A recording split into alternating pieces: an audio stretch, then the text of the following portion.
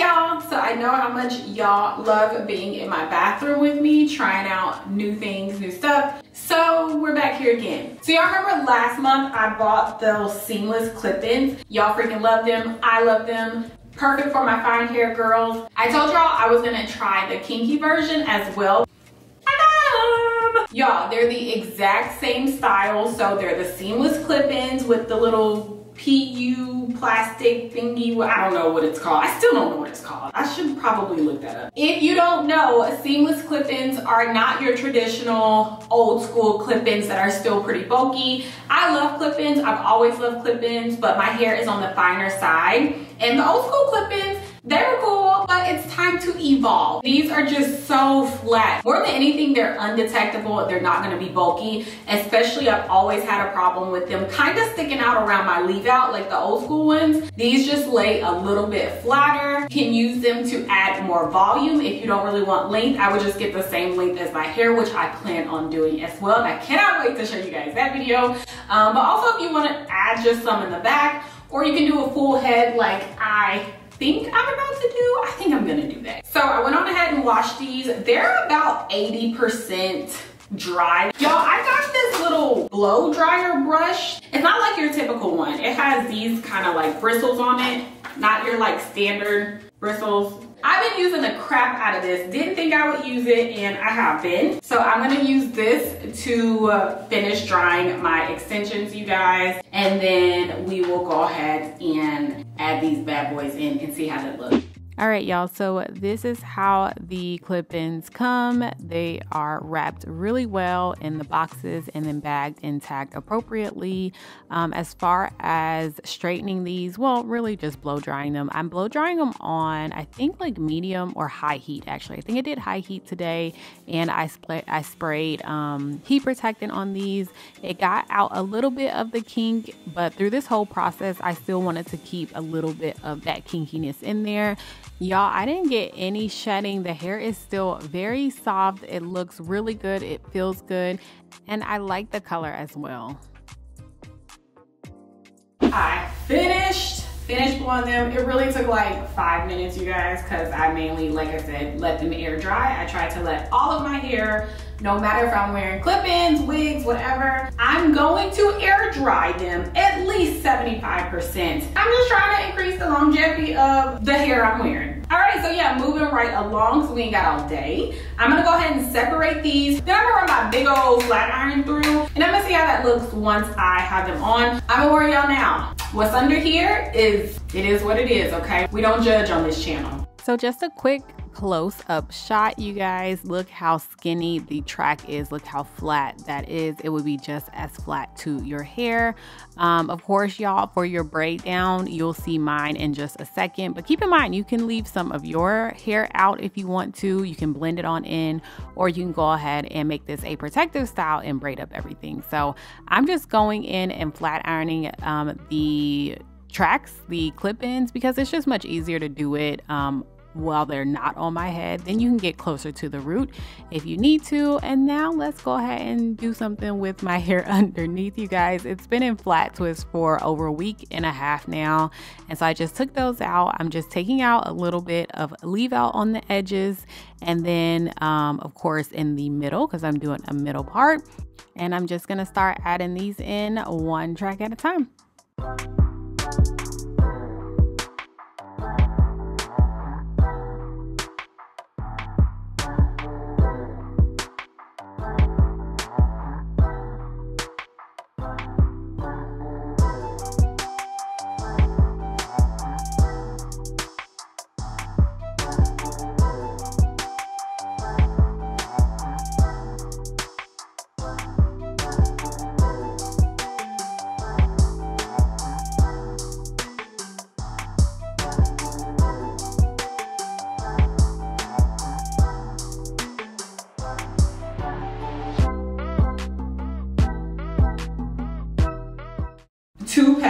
Is definitely enough. It's so full. I think it looks so good so far. I'm excited. I'm gonna go ahead and just hit my leave out real quick and then um, use a little bit of gel to kind of lay my edges.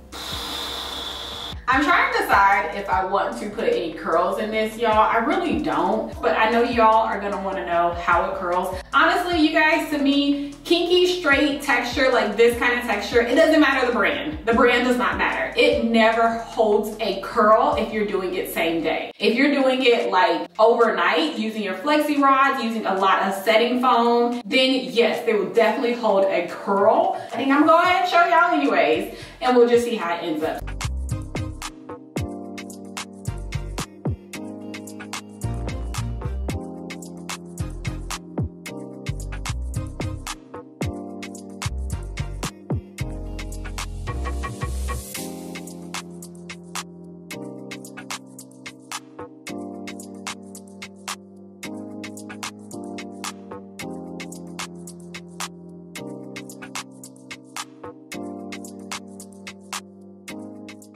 So y'all, I wanted to highlight this moment right here because I love the outcome. Like I you could literally just leave it like this and be done and walk out the house. It looks so natural, y'all. I got some body back there. Y'all was dancing and singing and all that kind of stuff. Had me a good time. But look how natural and flat that looks. But of course, I'm gonna lay a little bit of my edges because that's just what I like to do. But for my girls that don't really want to have to deal with or worry about laying their edges all the time, look, I know y'all saw how well that blended in, and I just had to show again just how flat these clip-ins were because I was I was a little shocked myself, you guys, that these would end up being so flat. Um, so yeah, and they could have been flatter had I actually went clip in by clip in and flat ironed them really well, but I did not do that. So curling these, y'all know, like I said, I didn't really want to, so I'm just doing my really quick method of curling, just using um, the heat from my curling iron.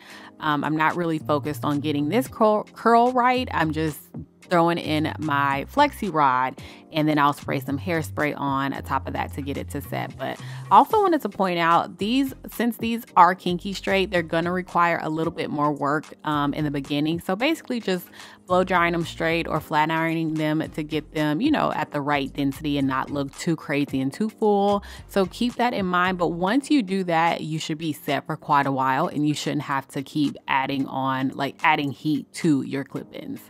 So I changed really quickly to give you guys a better effect. I'm about to take these um, flexi rods out. The hair curled really well. I just really like how natural it looks, how easy it also is to just install, how well it blended with my 4B4C natural hair, you guys, and just the overall looks.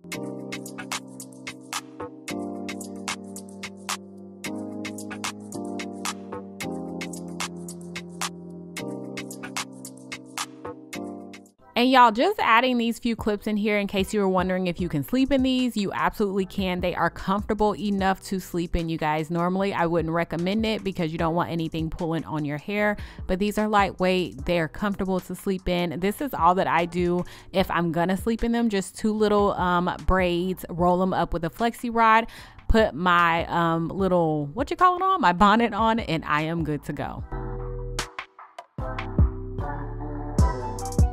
All right, you guys, so this is the final look. I love everything about it. Look how cute this came out. I freaking love it. And y'all, it held a curl. Y'all see a little curl like that? Y'all, the clip-ins feel really good on my head. Usually clip-ins will like give me a headache after a few hours and I think I'm gonna be good with these. If you don't wanna wear a wig, if you need a quick style like options for the holidays, I'm telling you guys, just like I told you before, pick up these clip-ins, especially for my natural girls, my 4B, 4C girls that don't want to do the silky, the body wave, that kind of thing, but still want clip-ins. These are for you. I don't think I said it before, but I have in 20 and 22 as far as lengths go. I don't think I would do anything longer than this. I think this is a really good length for me because the hair is so full. So yeah, guys, make sure you check the description box. Make sure you check everything down up in there. I will put everything that I possibly can. Check these clip-ins out. Go ahead and pick them up before they sell out again, just like the other ones sold out at one point in time. I think they're back in stock. Let me know if you have any questions, comments, all that great stuff. Thank you guys so much for watching. I'll talk to you in my next one. Bye.